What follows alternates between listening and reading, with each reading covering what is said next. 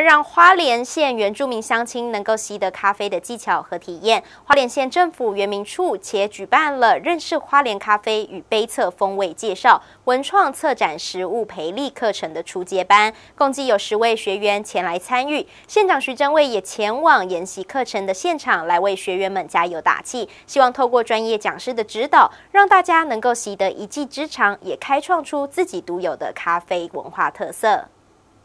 花莲县政府继咖啡评鉴活动之后，花莲县政府原住民乡处咖啡教育训练辅导课程正式开班。而这次课程以认识花莲咖啡与杯车风味的介绍、文创策展实物培力课程初级班。现在学生也前往现场了解学员们上课的情况，希望借由课程辅导花莲咖啡朝向世界精品咖啡目标来迈进。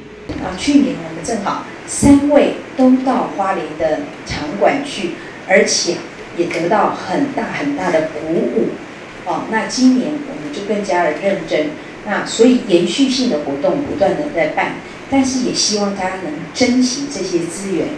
因为唯有珍惜，我们才能更加更加的努力去学习，啊，因为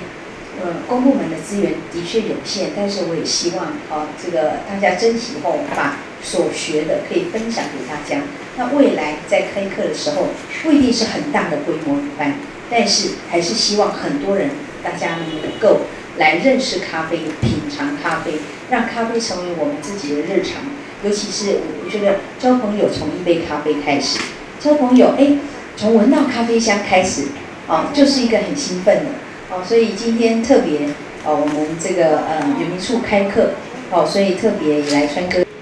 现在许主任表示，课程内容从咖啡农从选种、栽培、种植、病虫害防治、管理技术、浆果后置处理、渗透品质管控、烘豆、冲泡、品牌经营、财务管理上给予教育辅导以及修正，营造出属于花莲咖啡的品牌，与与东西太平洋咖啡与国内外的咖啡爱好者一同来分享。记得注意，欢迎收到。